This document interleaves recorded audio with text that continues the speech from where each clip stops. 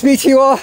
We are all cheering the, Olympians this Summer Olympics, but you can be your own Olympian, representing the mighty nation of yourself.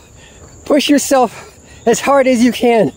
Establish human exceptionalism. Try to get your goals, strive toward your goals, no matter how modest or lofty they may be. Push yourself. Let's go, guys. If you want to be a PA, a physician associate, or a health educator like me, feel free to contact me. You guys can do it.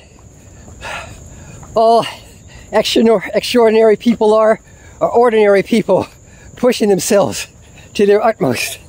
Take care, guys. I wish you guys the best of success in your positive endeavors. Take care. Peace.